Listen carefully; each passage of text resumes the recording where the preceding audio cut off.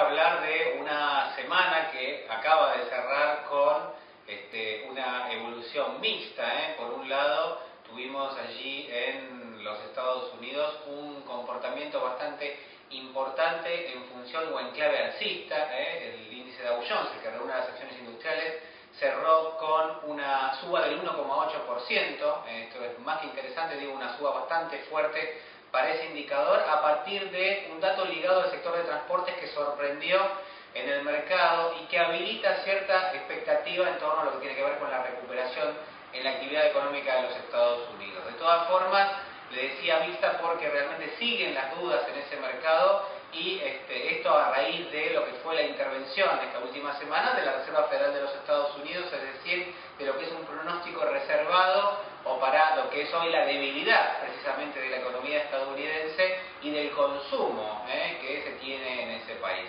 A nivel local tenemos que hablar también de un índice Merval que sorprendió gratamente porque se registraron subas de hasta 8%, donde fue relevante primero la evolución positiva que tuvo este indicador, que creció más del 2% en la jornada del viernes, pero también y sobre todo con fuerte anclaje en lo que es un amplio impulso que está viviendo el sector financiero ligado al mercado accionario.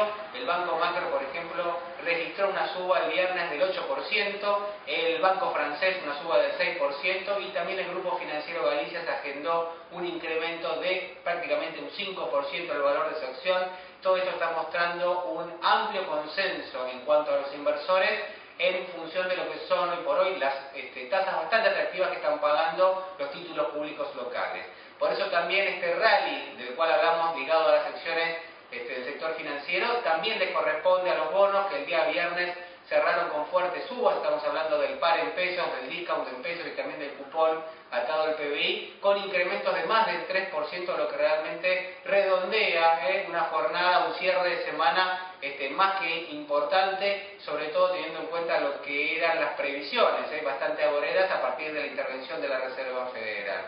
Brevemente, ¿qué va a pasar la semana próxima? Bueno, vamos a vivir una semana con datos claves, el principal es eh, lo que tiene que ver con la estimación de este, la actividad económica de los Estados Unidos, del PBI, pero también va a haber el dato ligado a lo que es el crecimiento de la actividad económica de Gran Bretaña. Estas son las dos informaciones claves que va a tener que digerir el mercado y este, a propósito también de esto, ver cómo este, se da precisamente lo que es hoy por hoy, una fuerte raigambre en este, la incertidumbre que existe en torno a lo que van a ser los próximos pasos de la Reserva Federal y el dato concreto ligado a la actividad económica que algunos prevén podría venir mejor de lo esperado y relajar